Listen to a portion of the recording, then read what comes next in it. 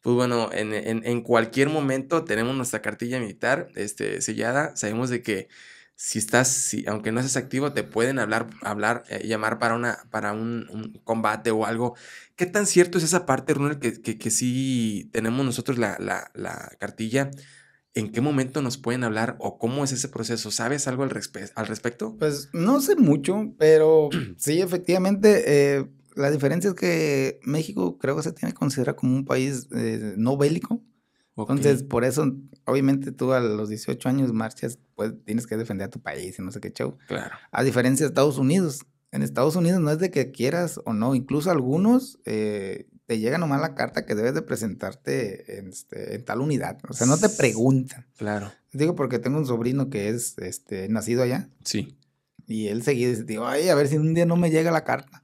Entonces, allá en Estados Unidos porque es un país bélico, se, se tiene considerado como país bélico. Ok. Entonces ahí sí, o sea, dices, en esta unidad faltan 100 soldados y no hay, no hay nadie de manera voluntaria. Ah, agárrate a los primeros 100 de aquí para acá y, nomás les llega una carta por correo. Deberá de presentarse a servir a su país por un término de seis o un año. Sí, Entonces, allá creo que es algo de eso, no, no estoy muy empapado realmente. Ok. Pero sí tiene que ver algo de eso, ¿no?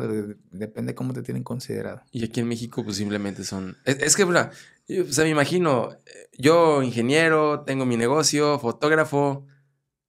¿Qué puedo servir ahí, cabrón? O sea, si, nos llegan a hablar, eh, eh, tomar fotos, ¿no? hacer las fotos.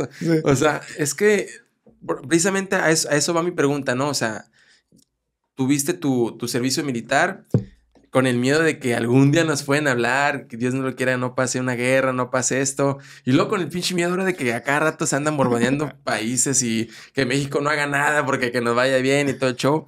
O sea, precisamente por eso, personas que, pues civiles que simplemente, pues les tocó cursar su, su servicio militar y siempre con el miedo de que pues algún día te vamos a necesitar. O sea, ¿qué tan cierta es esa parte? Por eso te preguntaba, o sea, aquí no es como que muy, muy arriesgado esa parte. Tampoco eh, te entiendo, no, no, no, no, no, no estás tan empapado en esa parte, pero digo, yo siempre estoy con ese miedo y que, ay, cabrón, si nos llegan a hablar. no, este, creo que sí te pueden hablar, pero eh, no es que tú digas, ah, yo soy ingeniero, esto, lo otro. Lo que pasa es que el servicio militar supuestamente te da como lo básico de adiestramiento por si te llegan a ocupar. Así es. Sí, que mínimo uniformado sepas marchar y sepas que es un rifle y esto, lo otro. Obviamente ahí hay un proceso también, me imagino que de mínimo 15, 20 días ya estando dentro. Claro, ¿no?